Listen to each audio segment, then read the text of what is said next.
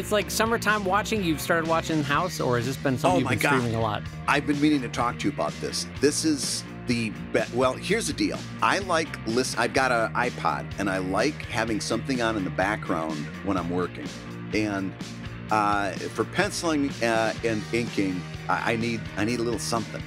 And audiobooks haven't been doing it for me quite so much. Podcasts not i- i- is better when I'm driving uh, because I end up I, I actually my mind engages a little bit more in a podcast than an audiobook. But TV is perfect because you can just kind of let it drift in the background. And uh, I, I, I, I, I'm always on the search for something that's just interesting to be a nice little buzz in the background, uh, but not too interesting that it's going to distract me. You know, Right. I, I, Right. a couple times I tried watching The Tick on uh, on Amazon, and I find I get a little bit too distracted because that's really right up my alley. Uh, but House, which is also on Amazon Prime, this is perfect. There's six seasons of this stuff. It's one hour episodes, uh, 21 episodes a season, I think. And it's a medical drama, which takes a, it's very clear. Oh, do you remember a bit of Fry and Laurie, that uh, that BBC comedy Sure, sketch? sure. Well, Yeah. it's Hugh it's Hugh Laurie, right? It's the same guy, but he's all you know. He's he's a little skinner and he's got cheekbones and and and he's all glowery and handsome. And he he basically is like it. The, the show asks the question: What if Sherlock Holmes were a doctor? So he's a diagnostician, and he makes all these diagnoses with by saying, "Oh, look look at his fingernails. It's clear that he's got stage three lymphoma." You know, it, it- and it's stuff like that. And uh, it, it, it's also very interesting because he's supposed to be so smart, but for an hour he comes up with the wrong guesses on all the stuff that's wrong with these people until finally they're on the edge of death and then he and then he you know the penny drops and he solves the mystery and it's and it's great. And i really like the idea of a medical drama with a a sherlock holmes character as the main character. It's really I, i'm in i'm into the second season already. But it also makes me wish that if we can have a Sherlock Holmes doctor, then that means certainly we could have a Lieutenant Columbo doctor. And that's that's what I want to see. I want to see Dr. Columbo. This is like the smallest Venn diagram ever created for a TV show audience. Like, I want to take all the great writing of House, but also combine it with the unique performance of Columbo. Doctor Falk. Doctor Columbo, Doctor Columbo, Doctor Columbo, the Yeah, patient. yeah, yes. Doctor Excuse- Doctor Columbo, the patient is exhibiting blue ears. We've never seen this before. Blue Uh, ears. Excuse me, sir. I, I couldn't help but notice you've got some nice shoes on. Where do you get a pair of shoes like that? I'm always looking for a pair of shoes that are. Do, do, do, do you shine those yourself? Are no, those your no, shoes? Doctor Doctor Columbo, for God's sakes, focus, please, sir. The the patient the patient is exhibiting massive amounts of vomiting. No human body could be oh. vomiting this much. I'm, I'm sorry. I, I, I just noticed you. Uh, my wife is a really big fan of yours. Uh, could I get your sonograph? I, uh, I, I just couldn't help but notice. Uh, you know, my wife, she always makes the lasagna too spicy. I don't like the spicy lasagna. Doctor, doctor, for God's sake, Doctor Columbo, the patient beep. The patient is flatlining. The Oh, patient is uh, flatlining. Excuse me. One more thing. Lupus. fade to black. Immediate fade to black. then the patient immediately they, they give they give him a lumbar punch. Oh, if you ever watch House for any three consecutive episodes, you are going to see at least five lumbar punches in that in that uh, series. They if you ha- you you come into this hospital with a lumbar, they are going to punch it at least once, if not multiple times. They're big on the lumbar punch in Wait, the uh, in like House. punching the lumbar region of the spine. That's where they draw draw fluids out of your spine. And I think they basically do it just to make you go, "Bleh." oh, geez. yeah, lumbar you know why? Because it's physical and dramatic. I did have a Yeah. doctor give me an actual punch to the lumbar region. Actually, it was to a kidney. When, Did he really? no, I'm not. I'm actually not joking. I had a kidney fall out of place one time, and he he to test it. One of the things he did was punch me in the kidney. And I was like, "Ow!" thank you, thank you very much, Dr. Hogan. Paging Dr. Hulk Hogan. Doctor Hogan, we have a left testicle that needs a knee brought, uh, knee dropped on it. Doctor Doctor Hogan, We need a we need a sky high. We, Jimmy Superfly Snuka. Could we paging Jimmy Superfly Snuka? what you gonna do when cadmium poisoning stomps all over you? We're with the lovely Elizabeth. Oh yeah. I can tell this is stage two lymphoma.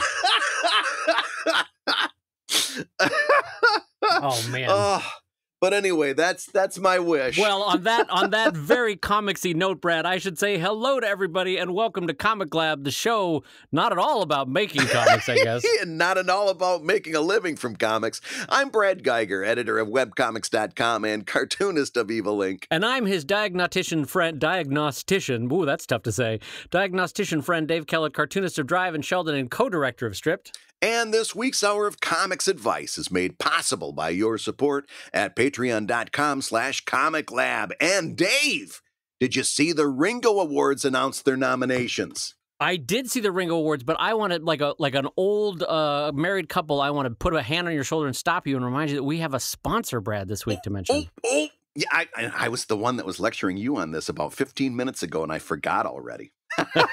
We do, we do, because this is our last, uh, this is the last uh, episode we'll have in June, and we want to make sure we get this guy in there because he is a very proud uh, Patreon sponsor, and we're thrilled to have him. Uh, the sponsor for today's episode of Comic Lab is Skitter. Want to? Hey, hey, Dave. Dave. Yes. Do you want to see the world from a bug's eye view? Oh yeah. then read Skitter, the humorous comic strip featuring mischievous bugs and a girl named Luna. Visit skittercomic.com today and see what everyone's buzzing about. Heyo. So I like how you you varied between pronouncing that skitter and skitter. Mm. I did well, you gave me a complex about it. No, Well, I didn't I- know I- which way to go. Because I, tell you what, there's a there's aspects of your Michiganisms that come out, and I think there was a little bit of a uh, a, a hard T there where I would pronounce it skitter. No, But maybe they're- Skitter Skitter is a completely different comic. It, it's it, it starts in a Fruit of the Loom episode and and it goes from there. No, I you don't want that one. You want Skitter, the good one. S K I T T E R. So you take it as a hard T, skitter, and I would Skitter. take it as a soft uh, a D as skitter. if I if I'm just talking, I'm, I, I'd probably say Skitter like somebody from the UP. But if I'm talking on a podcast and I want to say it in such a way that somebody makes sure that they get the right spelling in their mind, then I'll say Skitter. So when you are writing an L E T T E R, how would you pronounce that? it, to you personally a letter but if i'm saying it on a podcast and somebody has to get to the url it's a letter do you see do you see what i'm saying Oh, I see. So you're saying we should be doing our jobs right, is what you're saying in terms of podcasting. yeah just for once you know give, just to throw these people a curveball you know just just give them a little something to So go So I can't. I so you're saying I shouldn't treat the English language like an old soccer ball that I found in, under a bush and just give it a bad kick. I can't do that to the English language. yeah All j- right. yeah, treat treat this treat the English language a little bit better than you know Doctor Left Hook gave your kidney.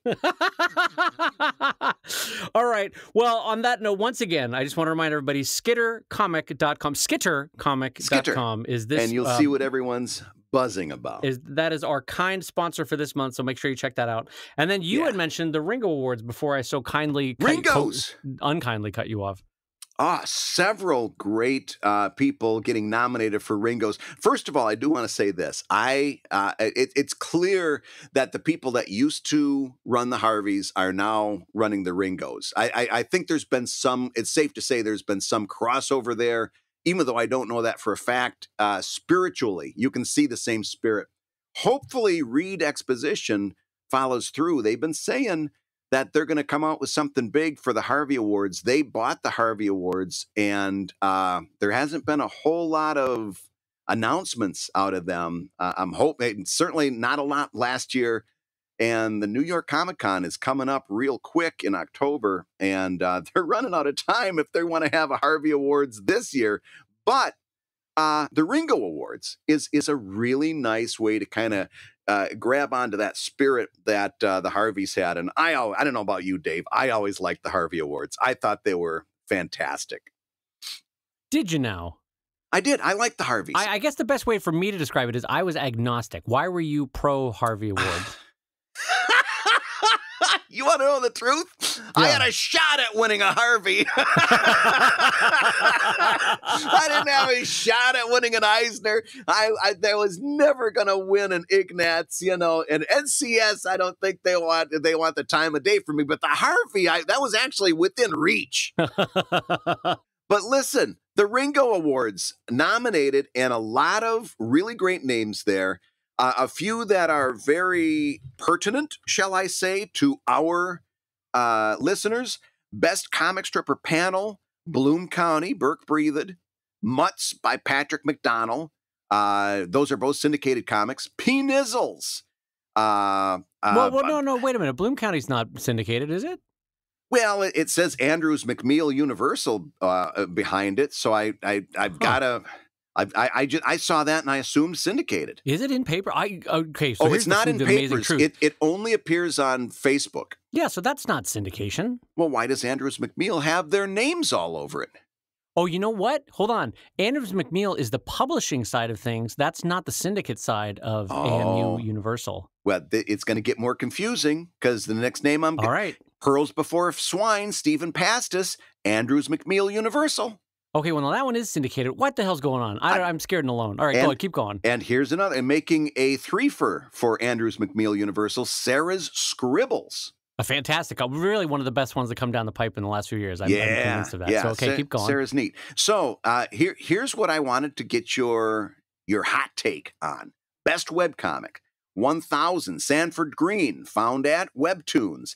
I Love You, Quimchee, found at Webtoons. The Middle Age, Steve Conley at middleagecomic.com. Siren's Lament, Instant Miso, found at Webtoons. And War Cry, Dean Haspiel, found at Webtoons. Four out of the five nominees for the Webcomic Ringo Award are found at Webtoons. Dave, your take.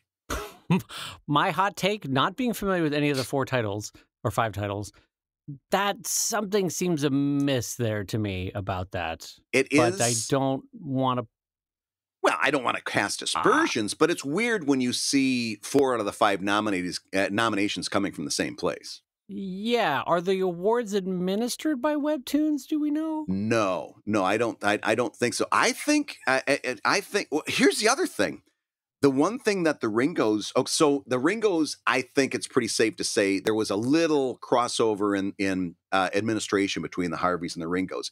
And one of the things that the Harveys was always getting slammed on was that you could game the Harvey Awards really easily. Like that's why uh, uh, sure. the story went. I don't know whether it's ever verified, but that supposedly that's how Scrooge McDuck was always nominated for a Harvey because the guy would send around the nomination forms to all of his employees, and bingo, there's I, Scrooge I, McDuck. The one year that I went to the Harveys with you, I remember sitting there. and It's like best sci-fi comic, Scrooge McDuck, and you're like, what is going on? yeah. Best historical fiction, Scrooge McDuck. but the Ringo Awards. So, uh, I feel like someone might have gamed the system on this one. This seems a little, that seems a little odd to me. I I don't know any of the titles. They might all be delightful. Here's what I'm going to tell you. What's that? Here's what I'm going to tell you, Dave. Okay. The Ringo Awards built in something to kind of act as a governor on anyone that wanted to game these awards. Like they had a eh, they had a combination. Okay. It's it's really neat. They've got a combination of a panel that selects the nominees and popular vote. So they tried to Who's on? Okay, do we? Is it a publicly listed panel? Do we know how? Uh, the, it might be, although it's a little bit late for me to do that research now. no worries. Well, the short version is like I. I mean, uh, on on my most human level, I get it. It's hard to administer yeah. a award and make it totally uh, fair, and also to make it welcoming so that people can submit names of stuff they like. Um, and it may just be Webtoons attracts a very young audience and maybe they're very easily motivated to go vote for something versus someone who like uh, i don't know the oatmeal that might have an, right, an older audience right. at this point uh, you know i'm just trying to think of something you know so I, I don't know if it's gaming the system so much as like being aware of that there is a ringos and then mobilizing your fan base to mm-hmm. go vote for it that could also be it i don't know um, And on another level, who cares? Well, really? You know, I mean, who I, cares? You know, I, I didn't see any Brad Guigar on that list, so I care a little bit. But, uh, but us, you know, you know, sour grapes aside, they're all. They, if they would have been a bunch of stooges or something, I would have been upset. But I looked at them; they're all great comics. It's not like there's a there's a you know anything to be upset about. I should say this too. Th- this also might be showing my hand in that I might be a super old man, and that these all have gigantic audiences, and I'm not familiar with any of them just because I'm old and beat up and behind the times. Uh, so that's also a possibility. To answer your question, though, uh, I went to my number one source for news and information, webcomics.com, and it just so happens that the guy that runs that wonderful site had some information. In an effort to thwart the ballot stuffing Oh. that has traditionally plagued the Harvey Awards, he's pulling no punches. The majority of their awards will have a hybrid nomination process. There will be five nominees. Two will come from an on- online nomination process, and three will be generated by five jurors. So that's what I meant by a hybrid. Oh, okay. Well, uh, first of all, I want to thank that Oh, editor of the guy is- webcomics.com. He must be really a handsome so guy. good. He's You should hear him do Lieutenant Columbo. He's something else. Yeah, it almost it it didn't at all sound like he was Prussian. I mean, it was it was a great, it was a spot on impersonation. hey, you want you want me to Yeah, don't don't do Uh, it again. excuse Don't do it again. Would, would you like to know the actual professional jury for the night 20, 2018 Ringo Awards? It was Michael Kavanagh, If it will, if Marty Grosser. Yep, Okay, Marty Grosser, Post. editor of Diamond Comics I- I- Distribution's uh, previews catalog. I, lo- I love that catalog. I, I look at it every time. Carla Marsh Southern from Heroes Aren't Hard to Find. I'm going to stop doing the Columbo now because I can't maintain it for that long. Rob thank. Oh, our long national nightmare is over. Rob Stull, illustrator, with uh, credits including Spider Man Adventure, and Gus Vasquez, illustrator for comic books, including Deadpool and X Force. So, you know, not not not uh, not a bad group there at all. Yeah. No, that's a perfectly acceptable panel. That's a very esteemed group. Um, all right. Well, um, listen, maybe this is just telling me that Webtoons is a much bigger uh, model of quality than I thought it was. I okay. So here's where I have to admit my own uh, naivete to the world. I don't read that many comics anymore. I read maybe three, and even them Yeah. semi regularly. Um, in terms of online, so uh, I don't. I mean, I know that Webtoons can pull in some massive numbers for the big hits. Like you had mentioned, Sarah Anderson. She does gangbusters work, um, and rightly so. I think her humor is hilarious. Uh, but um, I don't. I'm not that audience. I'm not the audience. You're on Webtoons though. What am I talking about? So what? Did, what is Webtoons experience like for you? So just to prove it to myself, uh, whether these sites were good, I st- I put up Evil Inc on both Tapastic and Webtoons and didn't say anything to anybody about it. Just uh, relied on their internal discovery and organic reach. Uh, Tapastic uh, was I did not get great results on Tapastic, and then they changed their terms of service and included what I considered to be a, a pretty underhanded rights grab and I I closed things down immediately, shut down my account, and never came back. Uh, I'm not saying that you should. I'm just saying that that's when I saw what their terms of service was. I didn't like what was going on there. Webtoons outperformed Tapastic left and right, and again, I didn't I didn't say to anybody that I was putting stuff over there. And I generated a, a pretty nice readership, a, a, pretty regular readership that I'm uh, not not too ashamed of at all. Plus, they uh, they they build in so that you can promote Patreon directly from your Webtoons page. Uh, I always put a little ad, uh, strip ad at the bottom of the page. Uh, my my only takeaway is right now I don't think I'm doing it right. I don't think you should do it the way I'm doing it. I'm posting a page a week uh, kind of like again I'll, I'll, use my own words against me kind of like a 2005 webcomic who hasn't kept up with the times. Uh, i think now I'll, I'll, I'll cop to that i'm guilty. Uh, but i think uh, it, and, and i'm i'm actually considering maybe revamping it. What i see working really well on webtoons is somebody posting like several pages of content in one episode in one posting and then you just sc- keep scrolling down and read and read and read and read. That I'm seeing. So you yeah, get them hooked yeah. a little bit and, easier. and people like the I what from what I'm what I think I'm perceiving is that people are liking the longer reads. They like the deeper dives. And how does it do from an archive standpoint? Like, is it easy Ah. to read to the? Can I jump to the first? if I were if on I were building a- actually ironically if I were building an interface it would be closest to what Tapastic did uh, but closer uh, uh, but it, but that not be being available I would make it closest to uh, webtoons uh, I like the way their interface is you can easily bookmark your place you can easily see using little thumbnails what page you're on or what uh, arc you're on it's it, it's a really good interface. It's it's a really good reading experience. What they're also saying, this just came out not too long ago on Webtoons, is they're recommending not even posting a page, but by but posting like almost kind of like what we do on Instagram, Dave, where you post panel by panel in a horizontal scroll, or I'm sorry, in a vertical scroll. So like panel one would be uh, on top, and then panel two would be beneath it, and then panel three, and you just keep going down, not even putting a page up because they're saying most of the readers are on mobile, and that's how they want to read that comic is one panel at a time that gives you the biggest uh, surface uh, exposure for that panel, makes it the most readable, one panel at a time, and then just keep scrolling down. So it is then for the Utes. It's for the Utes. Yeah, yeah, very much so. Uh, okay, so um, so you've it, so it's had a nice natural growth with no push on your part. Uh, can Yeah. I ask you an inopportune question, and you don't have to answer with the Go right specific? ahead. But is there money in it? No, no money at all. I, the only money for me, for me. Now, I have heard about people that have kind of landed deals with webtoons, and and they are paying certain people to produce uh, comics.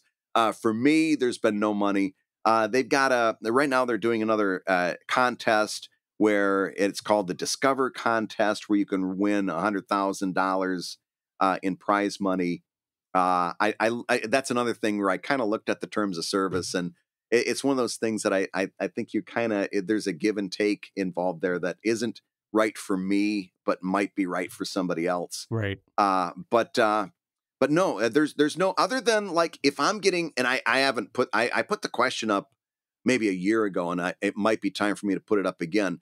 Uh, I put the poll up for my Patreon backers. I said, "Hey, I just want to know where'd you come from? How'd you find out about this?" And uh, at the time, nobody was reporting that they came to me from Webtoons. That may have changed over the last year, so maybe I could make the argument that some of those people discovered me through Webtoons and became a uh, Patreon backer. Right. But I, I don't have any way of knowing that. Yeah, no, that would be helpful to know. Um, so, so this is actually worthwhile time for me. If you don't mind, there's we have a five dollar question from a patron that actually is super Yeah. appropriate for this in general area. Um, Let's so, segue. Yeah, so well, well it's it, we don't even need a segue. It's got to be it's it's right in where we're going here. So on the topic, this is the question on the topic of everything old becoming new again. I've seen a lot of up and coming webcomics being syndicated through Go Comics. Given that the webcomics model was to go it alone without a syndicate, was this, has this changed in your mind? And if so, what value exists in being syndicated in 2018? So I think the the big one here to to just to clarify is that that is not syndication in the traditional model. Could you Right, just clarify, before- Brad, real quick, what syndication meant in the traditional sense? Yeah, but I, I was going to say before we get into this, we have to we have to define our terms. And this isn't one of those things where you know somebody gets all pissy because you said tomato over tomato. This is this is a really important distinction that you have to understand if you're going to discuss this. Syndication is is a very defined thing. What that is is you uh, uh, send your comic to the syndicate. They distribute it uh, to a number of different places, and all of those places pay for your comic to the syndicate. The syndicate takes a cut Right. and gives a cut to you. The traditional syndicate was a newspaper syndicate, right? The cartoonist sends it to the send their comic strip to the syndicate. They send it out to newspapers. Every one of those newspapers pay for the comic every week, and the money gets uh, distributed backwards. And and there can be a number of other types of syndicates, but for comics, usually we talk about newspapers, right? Right. And I think to, to, clarify why that term of syndication is important is because in the traditional analog physical meat space sense, oh, why did I use the word meat space? I hate that phrase. Damn it. In the traditional analog or, or old world sense, there was a lot of legwork. Like you had to almost make photocopy prints and then mail those out. And those had to be clipped by editors and those had to be pasted up onto a page. And those, yeah. and then invoices had to be generated and sales had to be follow up on and all that sort of stuff. Um, but in the digital world, it's not the same because what we are is those traditional syndicates are are sort of transmogrifying into being a digital platform, which is a very different thing from being a, a, traditional newspaper syndicate. So even though they operate with very often the same officers, same salespeople, same marketing people, they do a very different job when it's on their website versus what they do in the traditional newspaper sense. Don't you think that's a, a oh, good yeah. way to describe that, Brad? Yeah, and it's important to understand that uh, the, the, the, that if you're putting your comic, uh, and this is where Go Comics doesn't help, but if you're on Go Comics, you are not syndicated. But there are syndicated comics that are on Go Comics. Right. But just the fact that you're on there doesn't make them a uh, doesn't mean that you're syndicated. What it means is you are part of more of a collective like Keenspot, and I'm I'm I'm, it, I'm it's killing me. I can't think of the name. Oh, here it is. You're an aggregate. You're a part of an aggregator type site, and that's what Keenspot and Modern Tales and all those sites like that was. They aggregated. They collected a bunch of comics, put them all in the same place. Um, mostly aggregator sites are run off of ads, and then it goes back to that same old model. The aggregator runs the ads they take the money, take a cut for themselves, give a cut to you. Uh, so if you're on Go Comics right now, uh, unless you've got a syndicate contract that extends beyond your comic just appearing on their site, you're not syndicated, you're aggregated. And that's an important distinction. Right.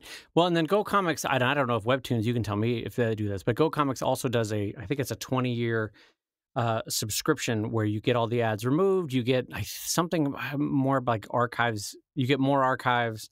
There's something else you get. Um, but that's the basic idea. So you basically uh, you're essentially buying a comics magazine in, right. in web form um, with all these different comics, ad free kind of a thing, right? So they do that. But who gets the money from that subscription? Uh, well, uh, Go Comics, and then it's distributed in whatever contractual way you have contract with them. So I okay. So now, since you were kind enough to say that you're on Webtoons, I should point out that I am on Go Comics with Sheldon and Drive.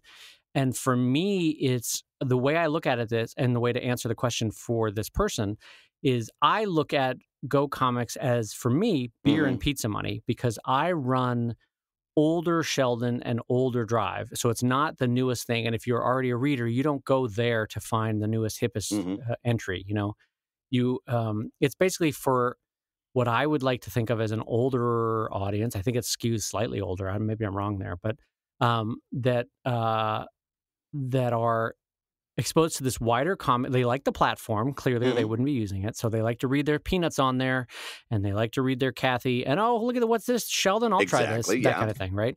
And so my long game on being on that is not the direct money that I make, but the potential Patreon sub- subscribers down the line, or people that come to a comic show having read Sheldon uh, on Go Comics uh, for a couple years, you know that kind of thing. So the the follow up answer is has that impacted my business at all? And I my honest answer is in no discernible yeah. way. Um, occasionally I will get those checks that are for you know the old reruns of Sheldon and Drive, and I'll be like, all right, and I'll deposit it, and that's that. But um, it's not for me. It's not a cash cow. For me, it's not a career goal. For me, it's not a, even a career stepping stone. It's just one more leg under the table to help uh, get book sales and Patreon subscribers. Um, and maybe Brad, that's what you're using Webtoons for. Is that a, is that an accurate description of what you're doing with it? Yep, yep. In other words, I would say that being uh, aggregated on Go Comics has no real value. Uh, neither does Webtoons or Tapastic or any of those others.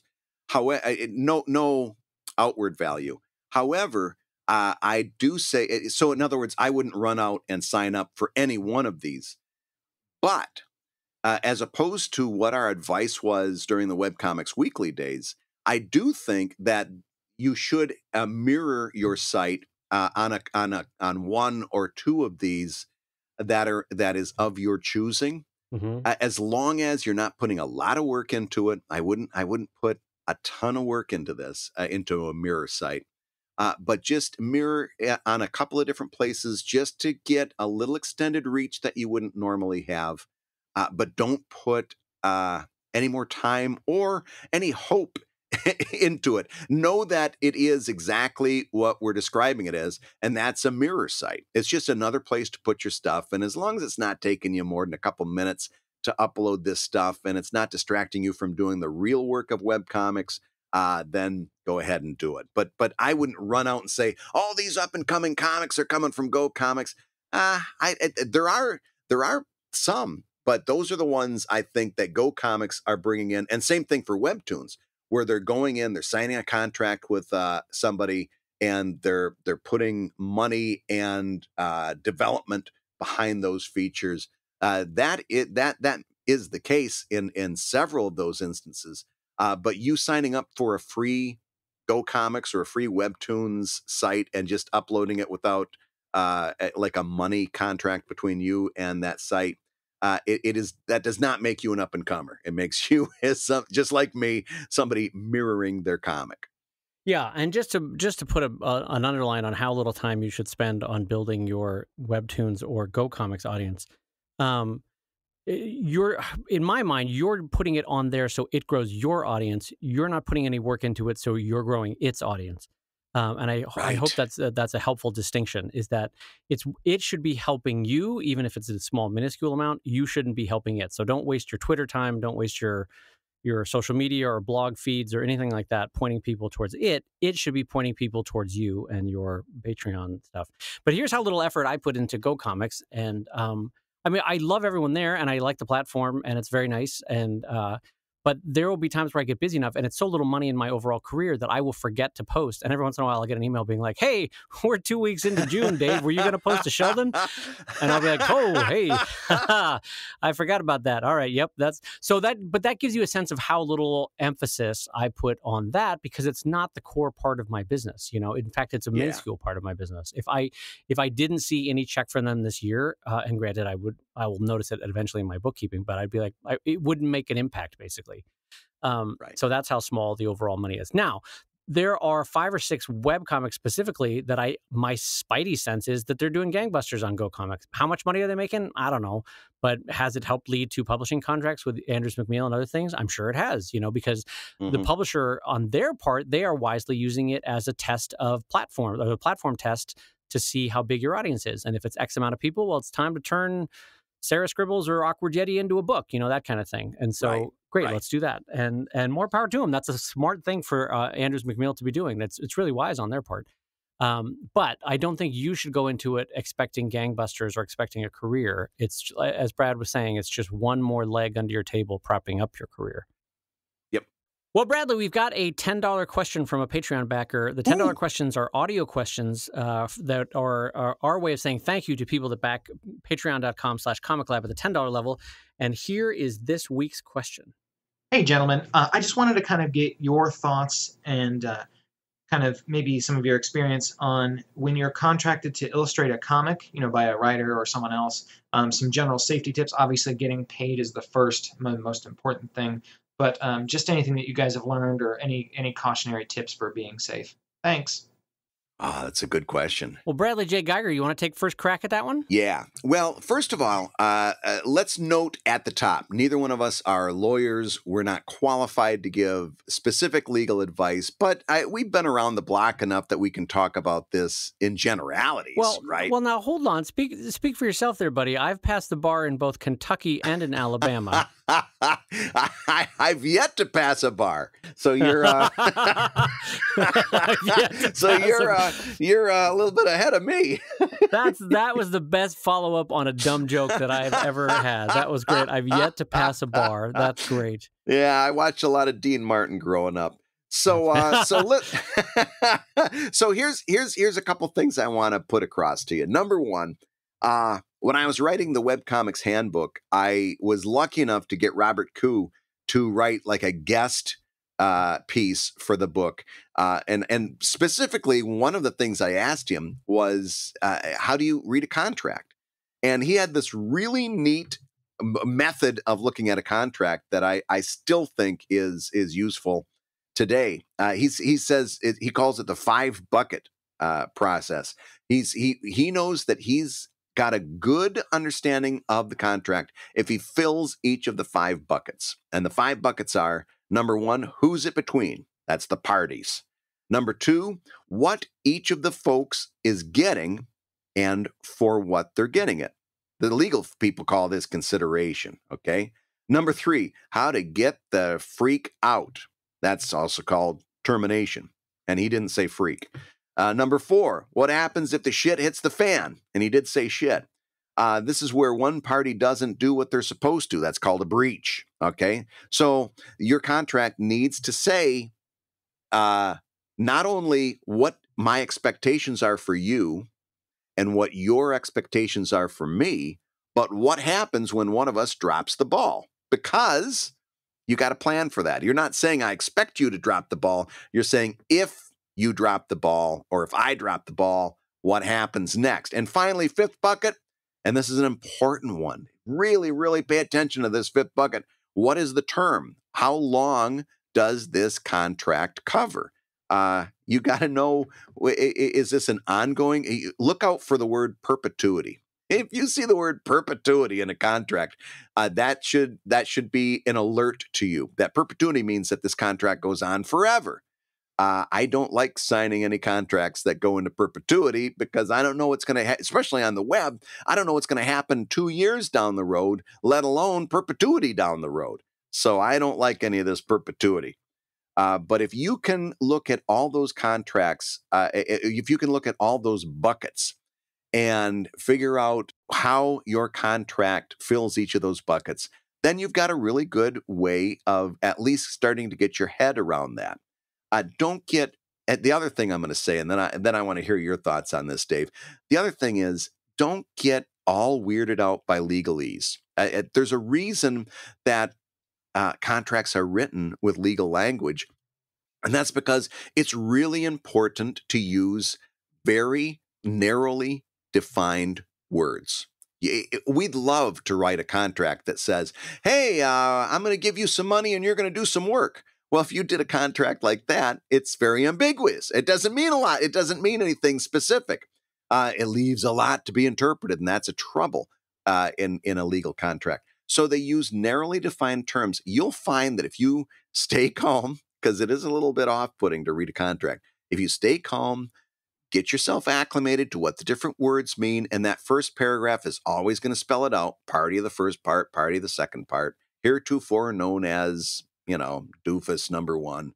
Uh, you can actually follow along with what's going on in that contract. And the main thing for your protection, you want to know it, it, this is the headline. What do I expect out of you? What do you expect out of me? And when the money comes in, how does that money get split up? That's the main thing. What What are your thoughts on this, Dave? Uh, so I've got a lot of thoughts. I, again, reiterating that Brad and I are not lawyers. Here's some stuff from the trenches that I've sort of gathered over the years, which is that I look at a contract, and maybe this is how lawyers look at contracts too, but I mainly look at contracts as forestalling the worst possible scenario, or basically planning for if everything goes wrong, here's what we're going to do, right? Because mm-hmm. when you're making a contract, you're starting a project, and everybody is smiles and handshakes and love, and this is going to be great. Oh, it's going to be so much fun. But it's it's think of it in terms of a marriage uh, you, no one anticipates five years after going down the wedding aisle that you both hate each other and one of you is throwing a shoe at the other one and you're going to yes. a lawyer, right? But with a contract, you're absolutely because it's entirely business, it's not romance. You're saying, here's what we're going to do if shit really hits the fan. Here's what we're going to do if I don't perform. Here's what we're going to do if you don't perform. Here's what we're going to do if we both don't perform. Here's what we're going to do if an outside party sues us for having performed. Here's, Here's what, what we can like, do if the guy from across the street comes over and performs a little bit too often. All right, slow you down a bit. Uh, but like, who's liable? Who has ownership? Who's going to pay if we get sued? Who's going to pay yeah. if someone falls while, for while reading our work, or you know, whatever sort of liability you might get from it? So that's the big one that I always think of. Yeah. And then if you want to look at it in the most positive light, which is also what I do when I look at a contract, I say, here are the basic performance steps. I am going to give you XYZ by June 15th. When I do give you X5Z by June 15th, you have seven days from that date of delivery to pay me XYZ times 10, right? You're that kind of whatever, you know, however you want Yeah. to think about it. Um, and so it's basically just laying out I'm going to do this, then you're going to do this, then I'm going to do this, then you're going to do this, and then the project is done. Et voila, you know, that kind of thing. Mhm. Um, and so I think of a contract both as preparing for the worst possible uh, outcome and preparing logical, very clearly stated steps of who's going to perform, what they're going to do, who has the rights to it, and uh, avoiding things like Brad said, like perpetuity, first right of refusal, uh, complete ownership, unless they're and the way. So and then following up on that, uh, if someone wants complete ownership of your work, my attitude is you can have the more copyright you want to claim, the more you have to pay me, or Right. or, or the more points you have to pay me, or however you want to look at it. Um, and if you want to give me more rights, in general, you have to pay, or you can pay me less. Uh, or if it's more of a hassle, you're going to pay me more.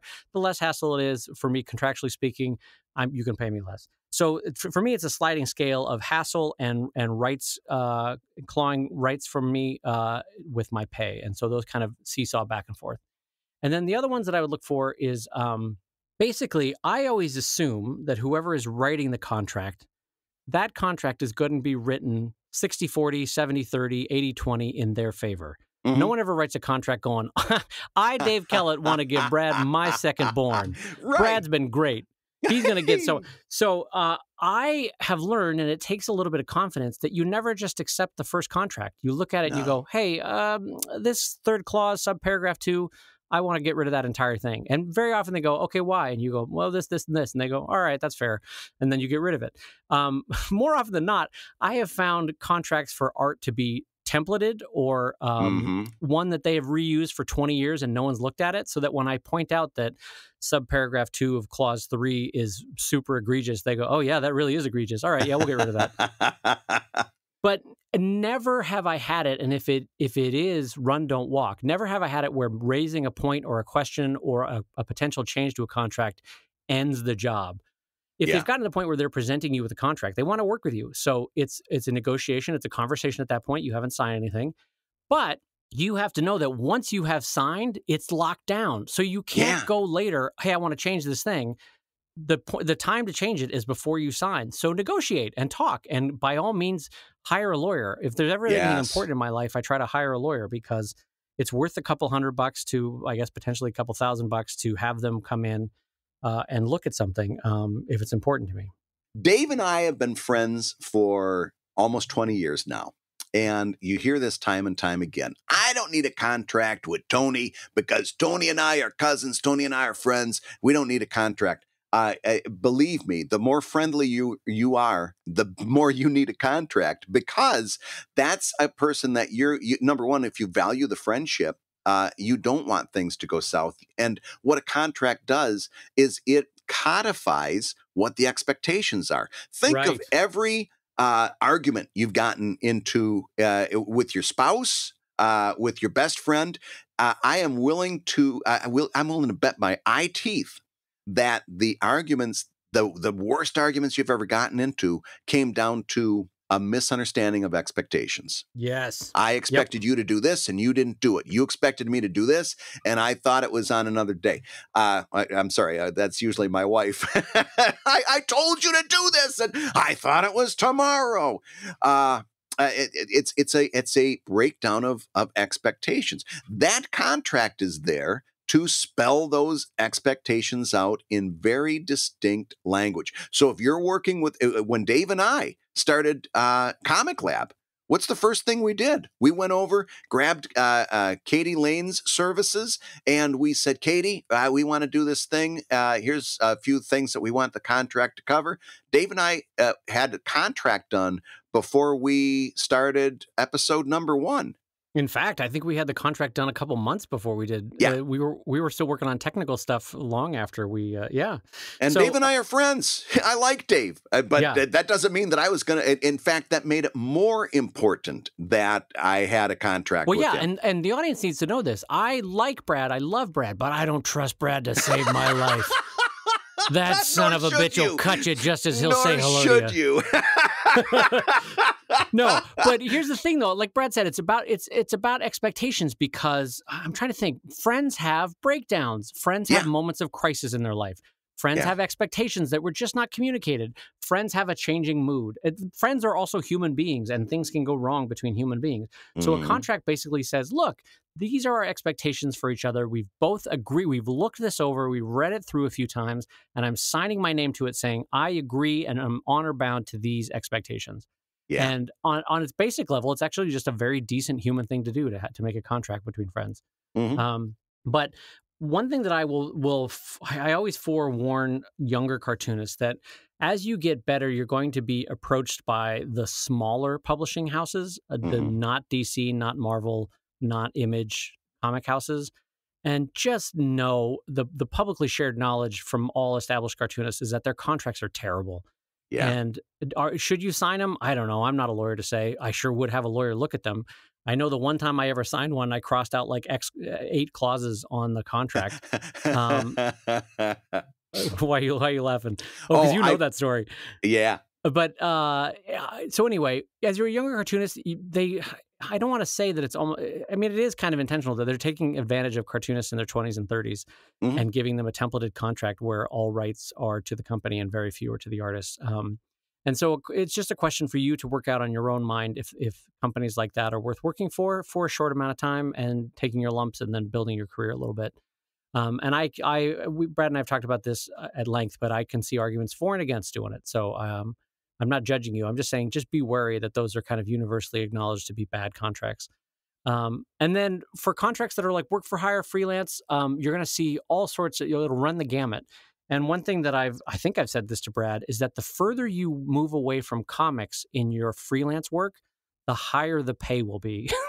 Yeah. is, is the general move.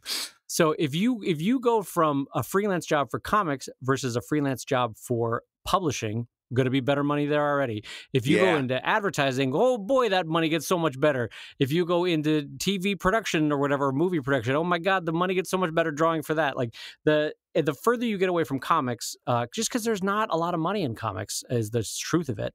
Um, and so uh, other industries like advertising is swimming in cash, and publishing in, in general has a comparatively lar- much larger uh, pot of money than comics do.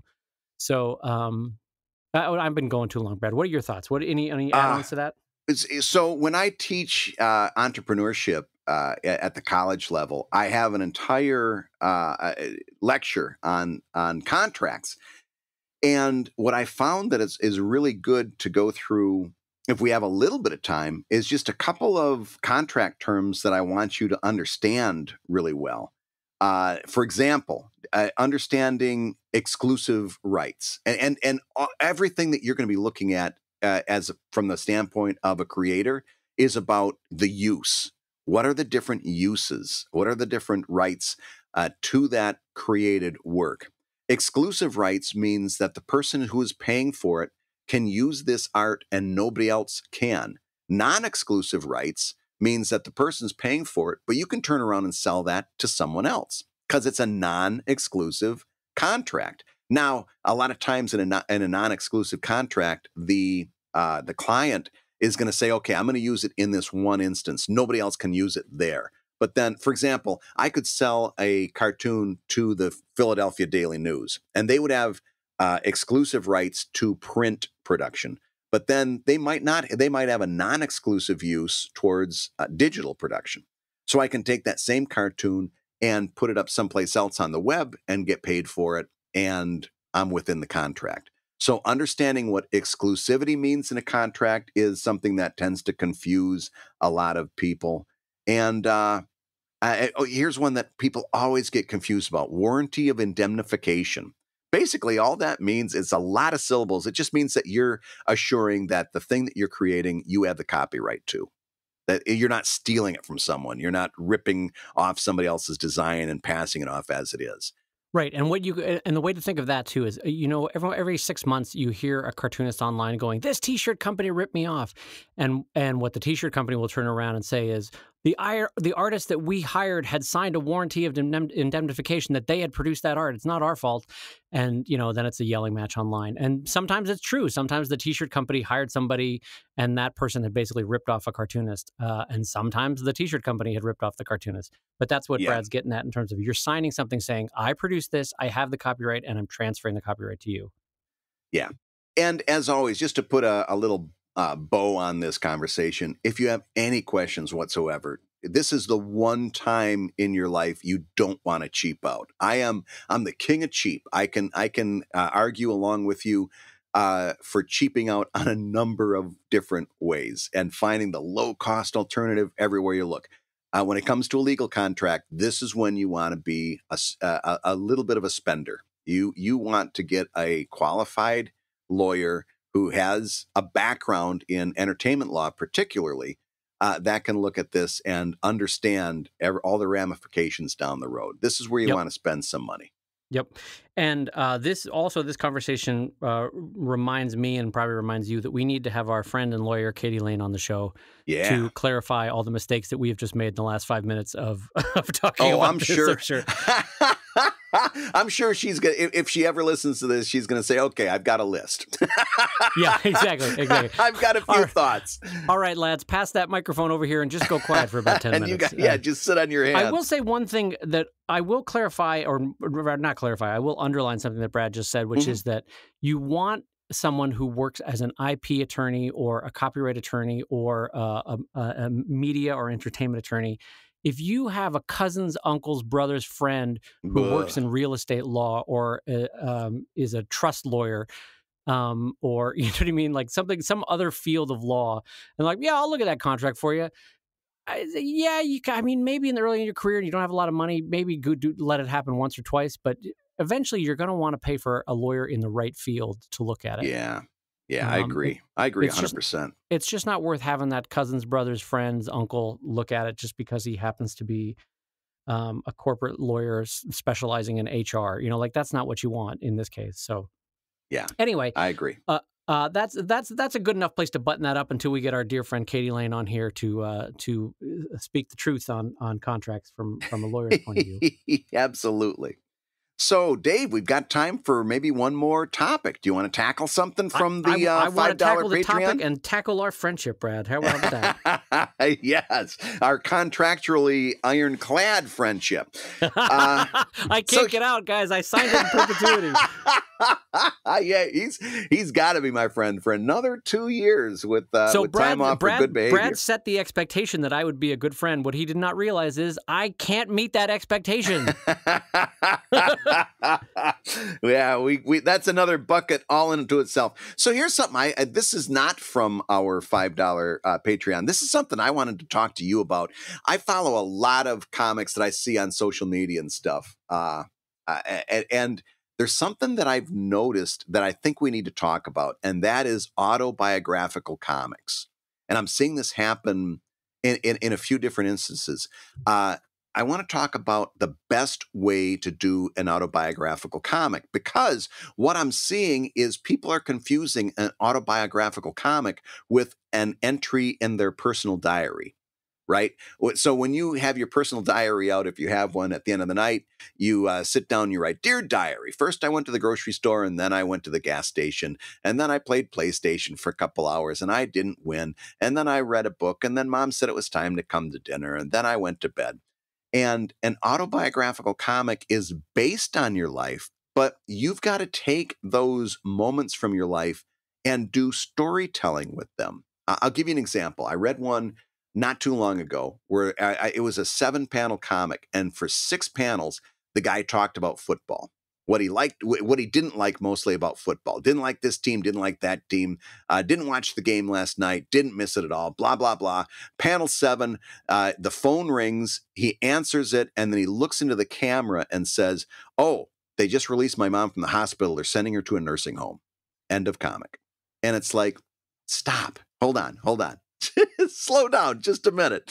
Uh, your your your autobio comic doesn't have it, it shouldn't be the things that happened to you that day.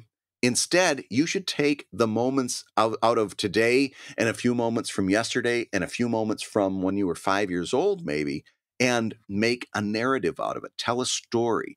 That that that thing about not liking certain things about football would have been a very good comic if you could have arrived at a certain place with it and said something interesting about maybe how your uh, views changed on football or what football represents in this country or something like that. Make make a point. Uh, but to but to give me six panels of football talk and then say your mom's in a nursing home, you just you you just, it, you're it's almost like uh, Dave. Have you ever been at a dinner party where somebody's trying to tell a joke and they can't? Uh, yes, that's most of my childhood. Yes. and they're like, uh, these two guys go to the bar, and it wasn't two guys; it was three guys. There's these three guys: uh, a Catholic priest, a nun. No, no, hold on. He, it, it, was a priest and a minister and a rabbi, and they go in, and and this person stumbles through the joke, and it takes five minutes to get to the punchline. And when they get to the punchline, clearly they they forgot what the punchline was, and they yeah, just, the key word is missing yeah yeah and and it just comes to a crashing halt and you and you stand there going how do i how do i get to the other side of the room? How do i get how do i get out of this dinner party with this guy sitting here talking at me? Uh, you've got to be better than that if you if you're putting this into a comic. You've got to take those moments from your life and weave it into something meaningful. It's got to be more than just an accounting of today's events. What do you think, Dave? What what advice would you give to somebody doing an autobio comic? So you had brought this up um, in a few weeks ago uh, when you were reading a couple different autobio uh, comics, and you had shared your frustration with me, and I laughed and shared the frustration with you as well at the time. But now that I'm hearing you describe it, um, uh, sometimes I get this way where I want to be contrarian to what you said. I'm not that I want to, but I just I'm seeing. So I forgot to include an anti-contrarian clause. That's where you made a, mistake, a fatal error, Brad Guigar. I shall always be the contrarian. No clause can stop me in a contract. Um, no, so I. Uh, so here's my thought: is that if you want to make an entertaining or a commercially successful or viable autobio comic, I think Brad's right on target.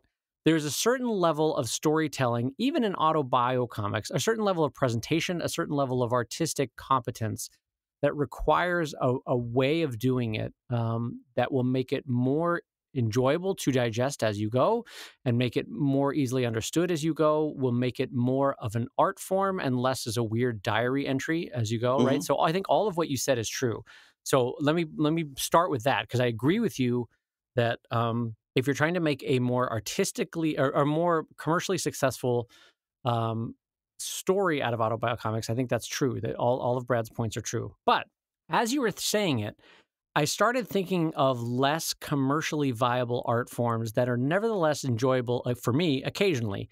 Um, I'm thinking of poetry and I'm thinking of collage.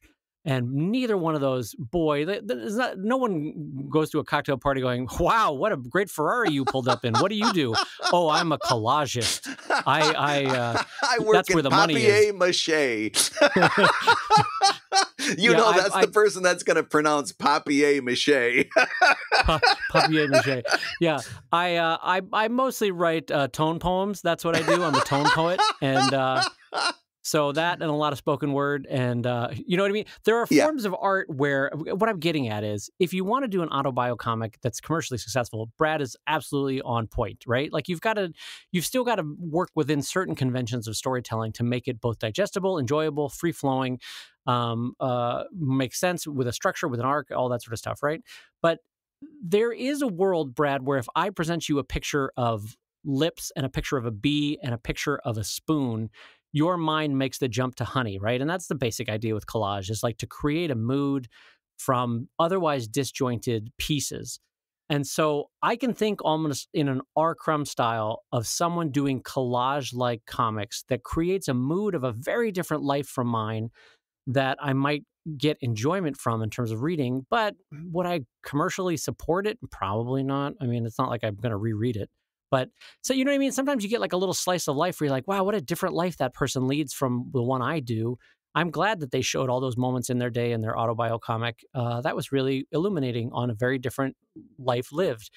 Um, but again, I don't know how commercially successful that's ever going to be. I'm not. Right. I, I, American Splendor did a little bit of that. R. Crumb did a little bit of that with success. I'm trying to think of other people that did autobio comics with some success. Can you think of other people? Buh. Yeah, you you had me at American Splendor. well, wait a minute. James Koch- uh, Kochalka, didn't he do a, an autobio comic? Yeah. Oh, yes. There's another one. And so, Yeah.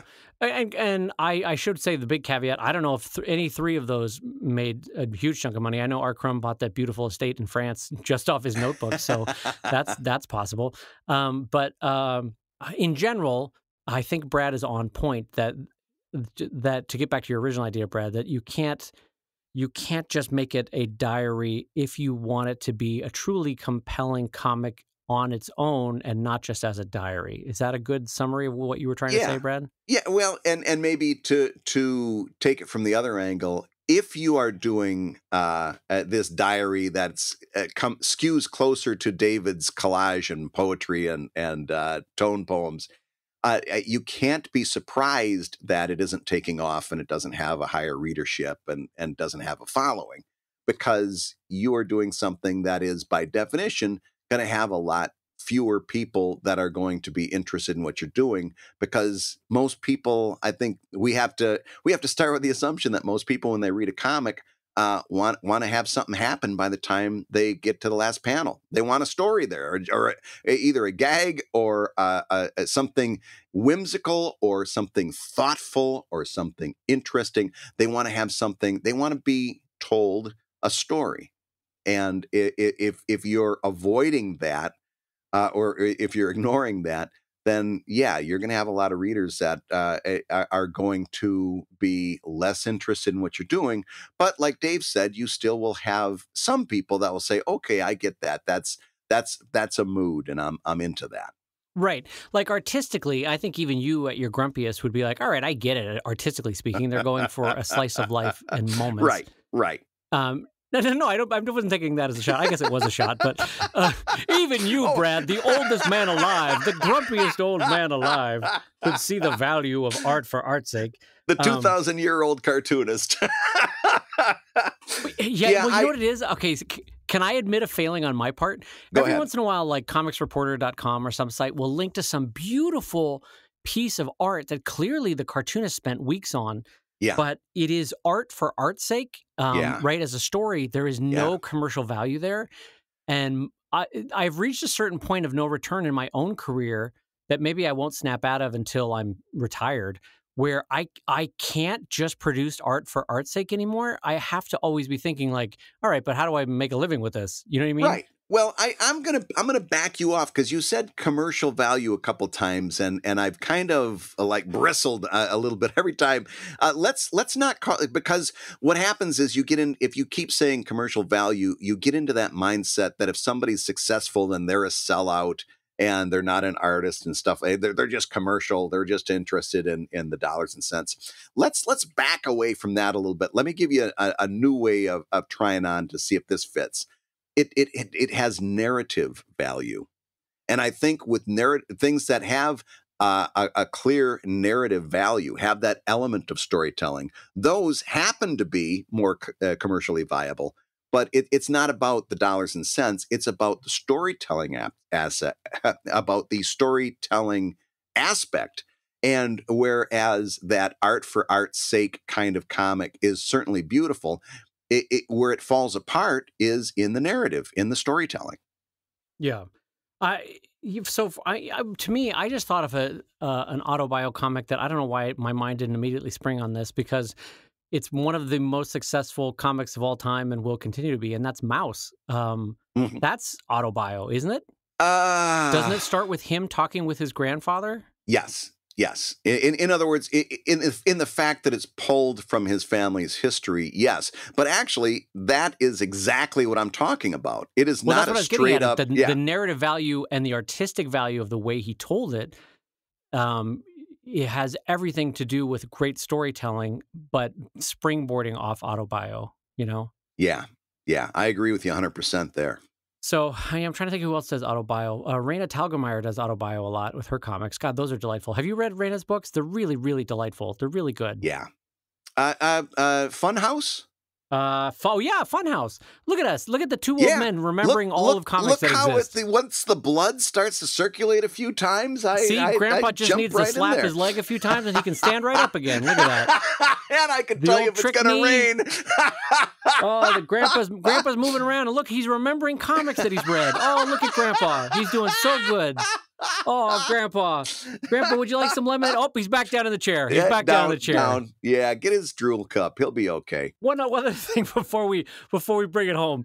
I've wanted to say this for a while, and maybe I need you to talk me off the ledge. Is that I Oh. kind of a little bit maybe want to start a third comic. Oh, wait a minute! How, stop the presses! Uh, this is this is uh this is an entire episode. Uh, what I- do you well, want? I- I- What are you thinking about? What are you thinking about? because it's springboarding off of this direct conversation. So I'm gonna, by God, I'm gonna plow right ahead. Really? I- Please. Uh, yeah, and I'll tell you what it is. I, like you, always made fun of autobio comics yeah. because it, uh, so many, like, and I want to say 90% of autobio comics when you're in your 20s is, oh, my relationships are hard. People are difficult. Oh, I I had a rough summer. I don't, I, I don't want to get a job. It's like the same 10 stories, right? And you're like, come on, autobio comics, do better. Yeah. And um, so I I got real bored of them real quick in, in my 20s and I kind of never looked back. But now, as I get older, I kind of want to do an autobio comic. What's fascinating to me about that is that you're usually of the two of us. I am the one who is a little bit more open about my family. You don't talk Yeah. about your family quite as much.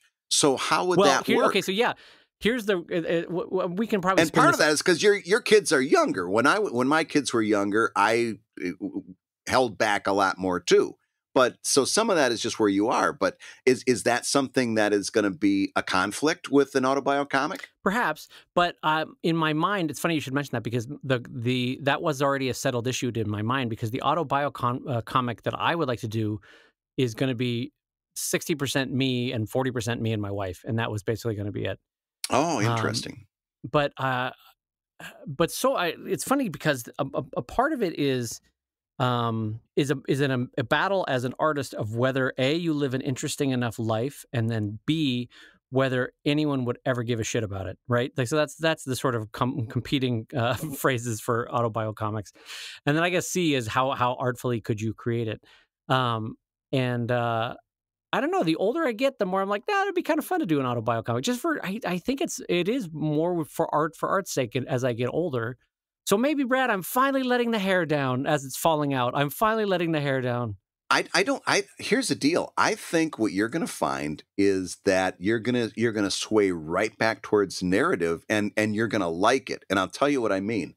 When I was doing fables back when I was working for the Daily News, I did that all the time. And and and it was because somebody would say I've got a really good story. And they'd tell me their story and inevitably they had a really good first act. They had a really good, and it maybe had a little bit of a button. It had a little bit of a a, a, a, a, a culmination, but it wasn't a story yet.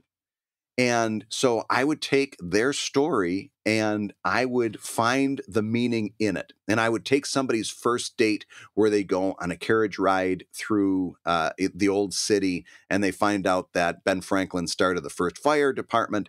And the whole gig was if your house was on fire, you had to negotiate with the firefighters on the spot how much it was going to cost to put your house out. right. And always love that. sometimes the negotiations would go into extra innings and uh, your house would burn down but you'd save a lot of money. But uh, and but see, just like I just did there, all right. That's that's the story, right? Or that that's the narrative. It, it- the, it- they had a really good story where it's right up to the point where Ben Franklin uh, would charge people, and then that little part I put in at the end where I said sometimes your house would burn down and you'd save a lot of money. That's the narrative. Right. Do you see what I'm saying? So what you if you were to do this, I think my prediction is that you would take a slice of today and you'd say, "Oh man, I I I I feel really good about today because I cooked dinner and uh, you know it's so hard to get everything to come out at the same time." And then you'd tell that little narrative, and then in the last two or three panels, you would say what that means, or you would give it significance, or you'd say, you know, cooking and dinner is kind of like life. Ba ba ba ba ba. You know what I Right. mean? And and Right. come out and tie it all up. I knowing you as I do, I I, I don't think you could ever do an art for art's sake comic. I think you, eh, but I think you'd do a great autobio comic because you would take this moment and display it, and then in the last panel, give it relevance, and that's what No, stories are all about. Okay, I, I appreciate your you have a greater sense of confidence in me than I do. So that th- a thank you for that. But um, uh, I want to put it in music terms in the sense that um, you know how sometimes you want to listen to great American jazz from the 20s and 30s uh, just because the improvisation, the the power, the the uh, the mastery of the of of as musicians that they were. And then sometimes you want to listen to Mozart because you want to think you want to listen to a concerto that's perfectly crafted, you know, that kind Yeah, of thing. yeah. And then sometimes you put on Korean K-pop because you just want something bubblegum, right? And so for me in my own career right now, like Drive is the super crafted comic. Like that's the Mozart one. That's the one where I'm like I'm really planning it out. Every little every little uh, winch in a bigger gear is turning, all that sort of stuff, right? Mhm. And then uh, Sheldon is more the improvisational, just like hey, I'm making it up as I go, but I'm a pretty good cartoonist, and I'm, I'm it's we're having fun on a day to day basis. And I think for me, my autobio comic, I would like to do it more like K-pop, just like fun. Look at it, what a big idiot Dave is. Oh, another stupid thing I did today. That's great. And so uh, maybe I need if I'm if it's gonna be K-pop, my version of what K-pop is. Maybe I just need to do it very sketchily, so it's quick and easy, and I didn't spend a lot of time on it. But And I- and people I- understand that it is what it is. yeah, like I think the main theme of the comic would be what an idiot Dave is, and um, uh, it would just be. Ah, don't turn yourself into Homer Simpson. You're not an idiot. No, I'm not an idiot, but it's fun to have an intelligent person doing dumb things because it's the nature of being a human being, you know? it is nice that you can laugh at yourself. Yes. yeah, Now. yeah. But like Now. my, I, I guess in the much like my marriage, my wife would be the wise one, going like, "What are you doing, you moron? Don't, don't get off that ladder. Don't, not with a saw in your hand. That's stupid. What are you doing?" Um, and so, but listen, am I going to do this? Probably not. But I will Oh. admit that as the years go on, I'm a little bit tempted to do this autobio comic. David, David, David. Yes. You're gonna do it. I want you to do it. And I want it to be a Patreon exclusive. I want you to do this comic and I want it to be 100% behind the Patreon paywall. I want you to do an exclusive and this is your exclusive. Oh, Bradley J. Guigar. David, David, this is your exclusive. Ah, I in fact, I invoke a challenge. I challenge you to do this. oh, you SOB. Don't challenge me to do it. Now okay, I do won't it. challenge you. But Uh, I'd love to see you do it. I'm going to think about it, though, as an Yeah. exclusive. Oh, yeah. Oh, Bradley J. What a great thing to put at an upper level that you want to drive people like from the two dollar to five dollar, the five dollar to ten dollar, and and all you've got to do is do it on a semi-regular basis. It, it maybe once a week, once every two weeks, and see what the reaction is. You can always do it more frequently. Here's the here's the thing though is that like like I was just saying a minute ago, my mind immediately clicks into how do I make a how do I make this worth my time of drawing that comic, the 2 hours that I would spend on it or hour and a half or whatever. Yeah. I I don't know that I could get enough money out of that to make that worthwhile versus drawing a page of Drive or a Sheldon or something, you know? Well, I'm going to say two things. Number one, I've, I- I've seen you work, and I know you can work fairly fast. And if you do a, an even sketchier version, take a look at take a look at what Sarah's uh, scribbles is a really good example, right? She works in a very very minimalist style. Uh, you could you could do a style that's very much like that. That's and it's all about the writing. It's all about the the meaning, and uh, so you could get that maybe in under two hours. And number two, obviously, uh, this is either going to be collected into a book or uh, you can use these to sprinkle throughout a Sheldon collection as little. Um, what do you call those little corner illustrations? Little indicia, uh, illumination type deals, right? Where Right. you where you spice up uh, a, a page by having this little thing down in the corner. Yeah, I mean, my solution thus far to doing this is that every tenth uh, Sheldon has been an autobio comic in the last few years. I don't know if you've noticed that. I've just I've been sprinkling myself more and more into Sheldon. I do Uh, notice that you show up a lot. Yeah. Yeah, uh, with varying waistlines in the comic. I always think that's funny. Um, but uh, but uh, yeah, maybe you're right. Maybe I do. I'm gonna t- I'm gonna I'm gonna have a good think about this, gang. yeah. Brad Guigar has laid down the gauntlet or thrown down the gauntlet, and I uh, laid down the gauntlet's a very different thing. Can you imagine like Yeah. taking off a glove and laying it down? You're like, oh, yeah, so here lay- we go. Laying down challenge the gauntlet. That's that's that's a uh, metaphor for being passive aggressive. I think. I'm. I, he laid down the gauntlet. Could you imagine the the the chutzpah on this guy laying down his gauntlet left and right, Slowly throwing down the gauntlet. Yeah. Throwing down the gauntlet is aggressive. Laying down the gauntlet is passive aggressive. Or it's a guy that really doesn't want to fight, so he's like, "I'll just, I'll just lay this here on the I'll table." just, yes. I'll just So, uh, have I, have I laid down the gauntlet now? I, I'm not sure. I, I don't really want to fight you, but I do feel like my honor has been impugned, so I have to lay down the gauntlet gently. That's it's like a Woody Allen scene. I'll I'll, I'll, just put this over here. I, I, I, I've oh, got oh, a perfect stop! place what for are a you, you- gauntlet. no, oh God, that's, what is that? That's a that's a beautiful Woody Allen. Are you oh kidding me? Woody Allen post stroke. What was that? That was I'll, I'll I'll put this over here. oh God, Brad. Oh. All right, I'm gonna I'm gonna send you a revised version of our contract that says you can't do Woody Allen anymore. but I can still do Columbo. Uh, okay, I'm gonna put two moo clauses in the contract: Columbo and Woody Allen. you know what I got to say to that? You know what I got to say to that? I got this I to say I to do. you. Uh, you've been listening to ComicLab, the show about making comics and making a living from comics. Your hosts have been Brad Guigar, the editor of webcomics.com and cartoonist of Evil Inc. at evil-comic.com.